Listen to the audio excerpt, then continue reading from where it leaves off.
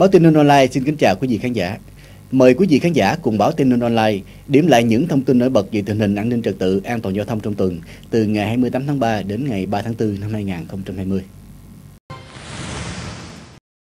Trong tuần qua, công an các đơn vị nghiệp vụ huyện thị xã, thành phố đã chủ động nắm tình hình, giải quyết các vấn đề phức tạp nổi lên ở từng địa bàn, tăng cường các biện pháp bảo đảm an ninh trật tự, an toàn xã hội, qua đó tiến hành bắt giữ. Đã bắt giữ 6 vụ 32 đối tượng vi phạm hành chính về hành vi đánh bạc, tham gia đánh bạc, 4 vụ trộm cắp tài sản, 6 vụ tàn trữ mua bán trái phép chất ma túy, 8 vụ vận chuyển kinh doanh hàng hóa nhập lậu. Điển hình các vụ việc như sau. Ngày 30 tháng 3, Công an xã Long Thuận, huyện Bến Cầu cho biết,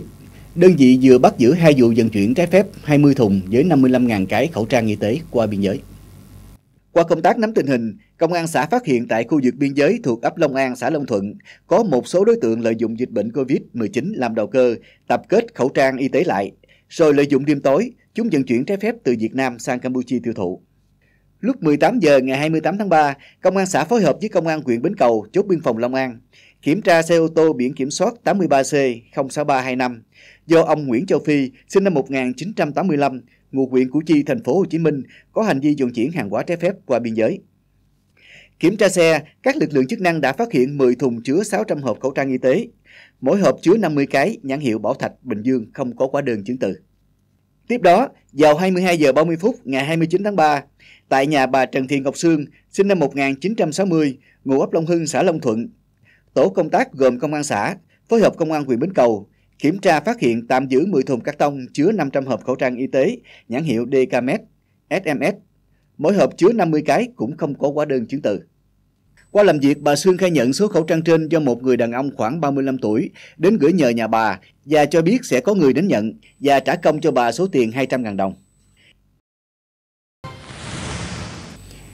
Ngày 27 tháng 3 năm 2020, Công an huyện Dương Minh Châu cho biết đang tạm giữ hình sự hai đối tượng Nguyễn Lâm Tường Vi, sinh năm 2001, ngụ ấp Phước Hòa, xã Suối Đá, và Nguyễn Thanh Tuấn, tự Buôn, sinh năm 1988, ngụ ấp Phước Tân 1, xã Phan, huyện Dương Minh Châu, về hành vi tàn trữ trái phép chất ma túy. Vào lúc 12 giờ 15 phút ngày 24 tháng 3, tại tổ 12 ấp Phước Hòa, xã Suối Đá, huyện Dương Minh Châu, công an huyện bắt quả tang Vi đang tàn trữ trái phép chất ma túy, thu giữ 0,47 gam ma túy loại methamphetamine. Qua điều tra ban đầu xác định là người nghiện ma túy, Vi thường đến khu vực xã Suối Đá để tìm mua ma túy đá với số tiền từ 5 đến 10 triệu đồng. Sau đó đem về nhà phân nhỏ ra thành từng bịch để bán lại cho các đối tượng nghiện ma túy khác trên địa bàn xã Suối Đá và xã Phan. Cùng ngày, đội cảnh sát điều tra tội phạm về ma túy công an huyện Dương Minh Châu bắt quả tang Tuấn tự buôn đang tàn trữ trái phép chất ma túy, thu giữ 1,54 gam ma túy loại methamphetamine. Tuấn khai nhận năm 2013, sau khi chấp hành án phạt xong, trở về địa phương sinh sống và bắt đầu sử dụng trái phép chất ma túy đá.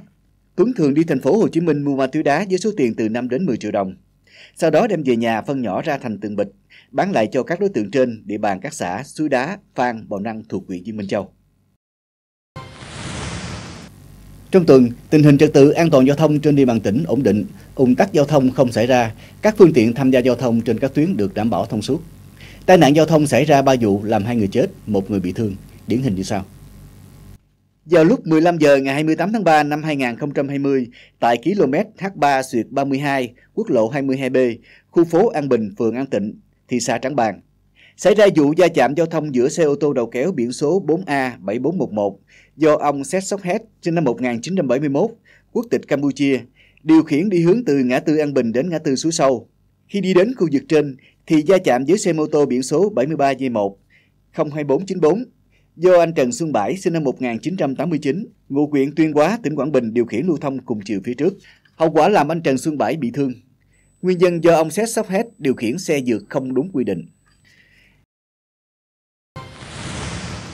Vào khoảng 20 giờ 55 phút ngày 31 tháng 3 năm 2020, tại đường 783 thuộc khu phố Ninh Bình, phường Ninh Sơn, thành phố Tây Ninh,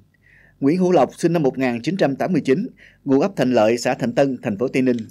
điều khiển xe mô tô biển số 70B1 45458 lưu thông từ hướng ngã tư Đại Đồng về hướng ngã tư Tân Bình.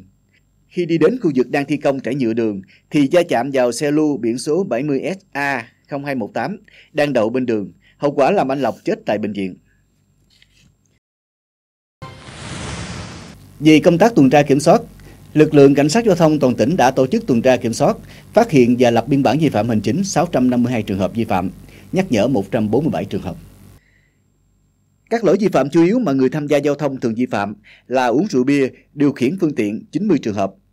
chưa đủ tuổi điều khiển xe mô tô 69 trường hợp, chạy quá tốc độ quy định 56 trường hợp, chạy ngược chiều 10 trường hợp, không đội mũ bảo hiểm 51 trường hợp. Về công tác xử lý vi phạm hành chính, ra quyết định xử phạt vi phạm hành chính 643 trường hợp, trong đó có 79 trường hợp vi phạm quy định về nồng độ cồn, tước giấy phép lái xe có thời hạn 82 trường hợp, tạm giữ 8 xe ô tô, 267 xe mô tô. Về công tác tuyên truyền, trong tuần qua, công tác tuần tra kiểm soát, lực lượng cảnh sát giao thông tập trung tuyên truyền các quy tắc giao thông đường bộ, nghị định số 100 của chính phủ, quy định xử phạt vi phạm hành chính trong lĩnh vực giao thông đường bộ và đường sắt. Đặc biệt là tuyên truyền mức xử phạt đối với các hành vi vi phạm quy định về tốc độ, nồng độ cồn, điều kiện của phương tiện khi tham gia giao thông, chuyển hướng không có tín hiệu báo hướng rẽ. Bản tin tổng hợp về tình hình an ninh trật tự, an toàn giao thông tuần qua đến đây là kết thúc. Cảm ơn quý vị đã quan tâm theo dõi. Xin kính chào và hẹn gặp lại.